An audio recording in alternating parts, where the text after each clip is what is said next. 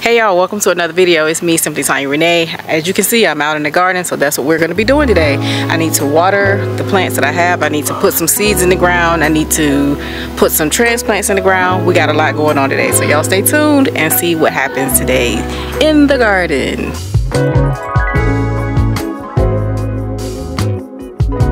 Since the ground is so dry, I need to wet it so that it can become easier to work with.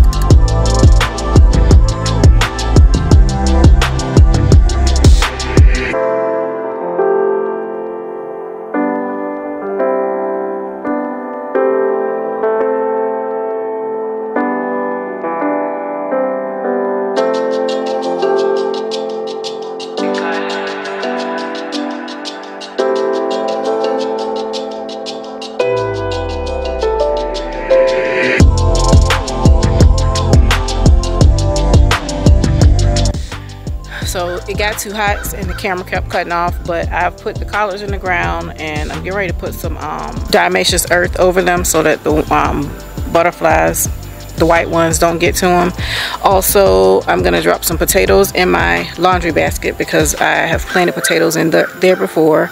I'm gonna drop some spinach radishes and carrots. And I'm just telling y'all that just in case the camera cuts off again. I think that's all I'm gonna do today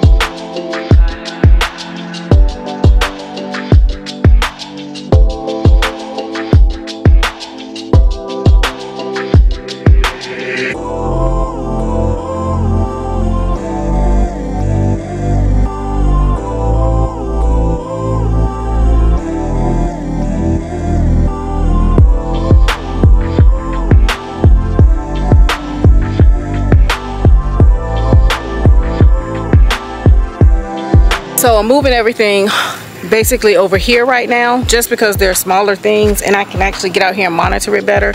But how about how about it was still two baby potatoes in the basket when I went to plant those other potatoes. I brought the pot that the other collard plant was in and um, I think I'm just gonna plant um, um,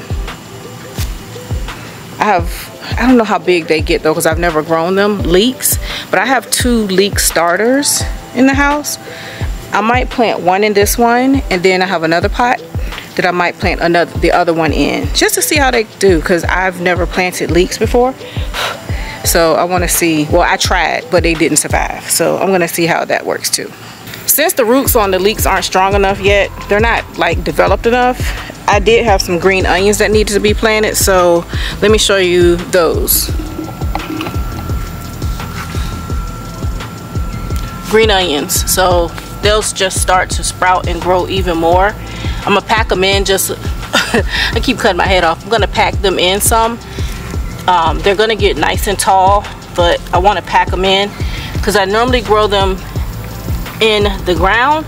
But like I said, I'm trying to grow some stuff in pots too. That way I can just come right outside when it's, uh, you know, those colder days and I can just come right over here and just pull stuff. So I'm gonna actually sit this over here with the herbs.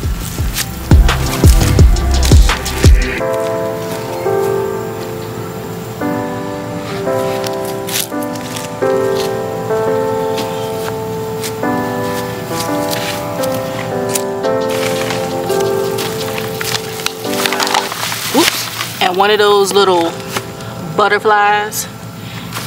The arch nemesis of the garden was just flying around so I'm gonna go ahead and put some of this um, DE on it because they don't like this stuff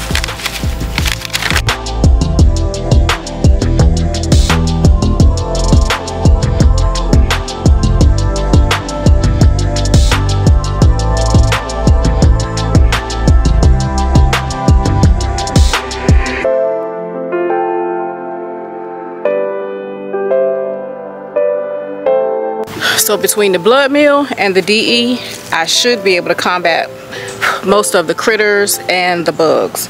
Um, I'm gonna go ahead and plant the radishes and carrots now and then I'll move on to um, covering everything up. Uh, listen, my camera keeps overheating so I haven't been able to record a lot of what I've done.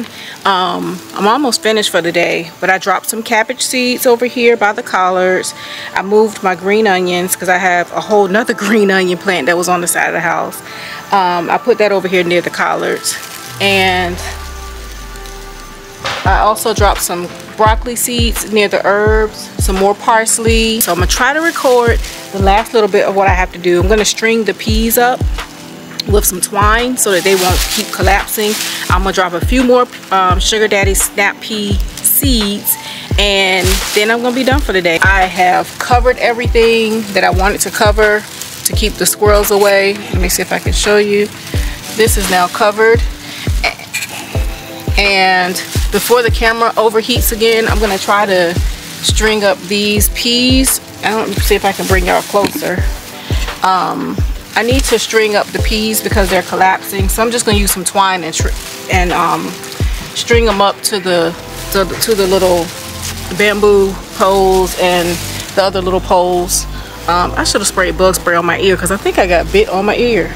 So oh and I did radishes. I did some watermelon radishes some um, French breakfast radishes and I think I did English radishes also. I did three different types of radishes. And so that's all. I hope that you have enjoyed this today. And I'm sorry I wasn't able to record a whole lot because the camera kept overheating. I need to cut some of that lemongrass down. Jeez.